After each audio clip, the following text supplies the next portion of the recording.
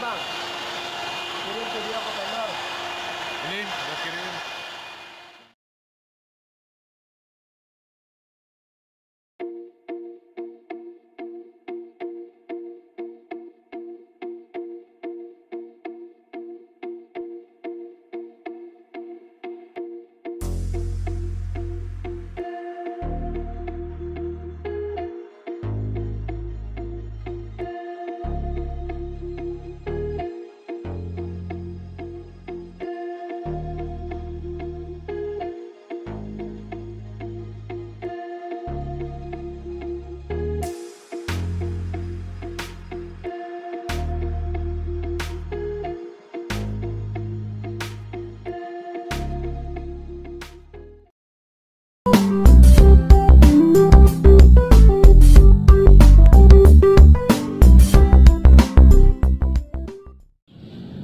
Assalamualaikum warahmatullahi wabarakatuh. Balik lagi di channel Mobil Petualang.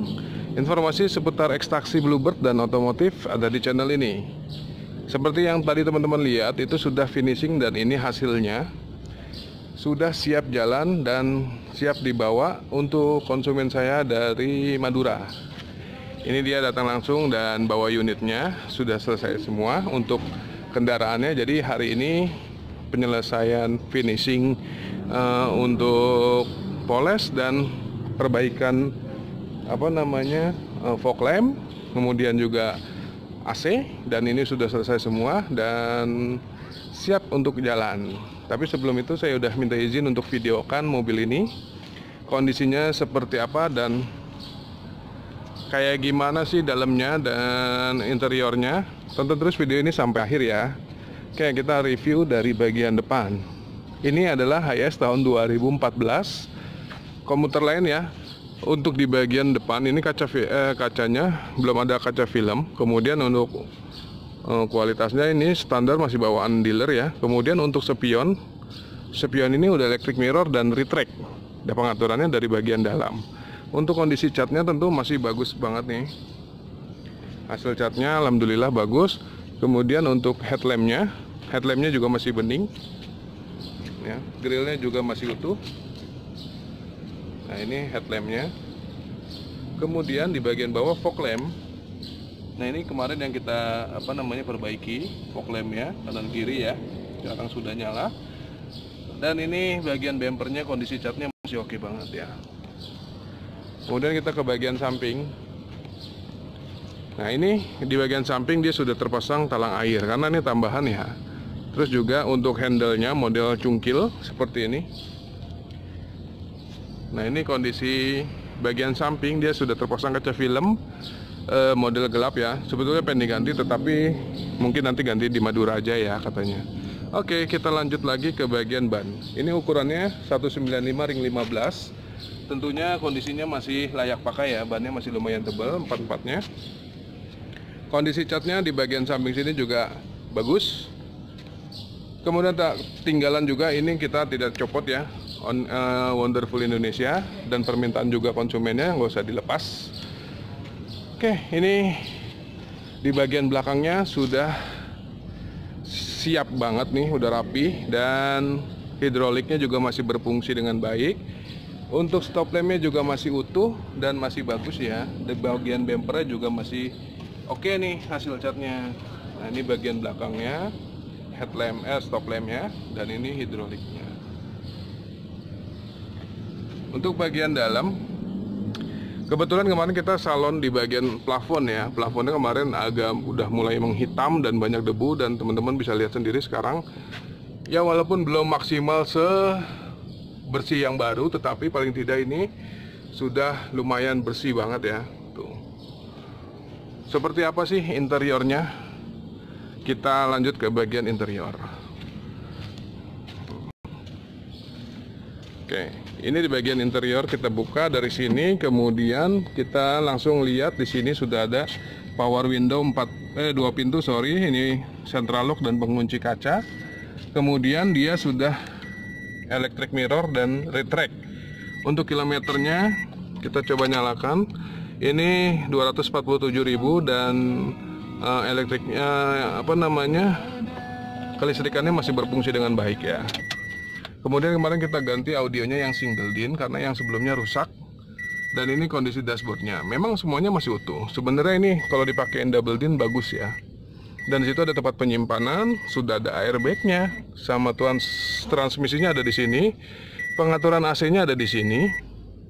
Di situ ada tempat penyimpanan kecil, ada laci, sama eh, di bagian bawah ada pocket ya.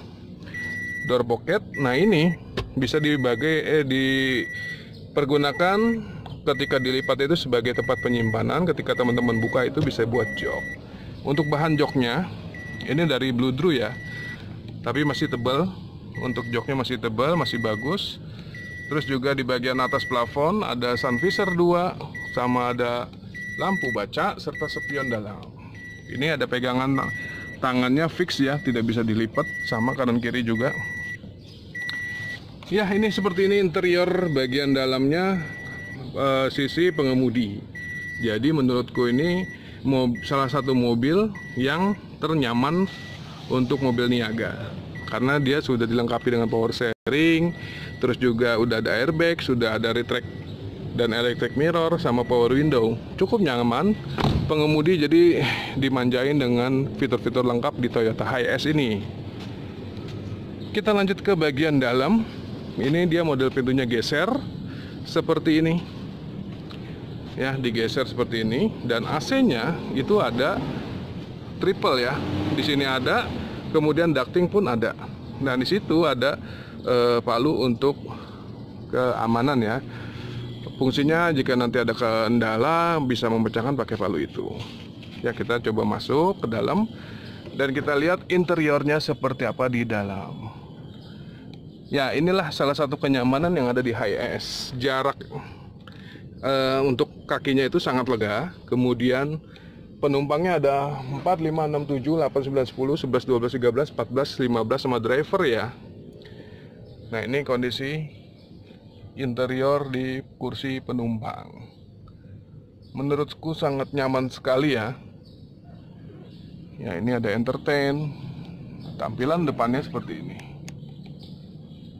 Sangat nyaman dan sangat eh, buat jarak jauh tuh bener-bener nyaman ya. Tapi sayang sekali mobilnya sudah habis semua, udah sold out. Jadi ini adalah pengiriman terakhir atau unit terakhir yang sudah jadi dan sudah dikirim. Oke, kita ke bagian luar lagi.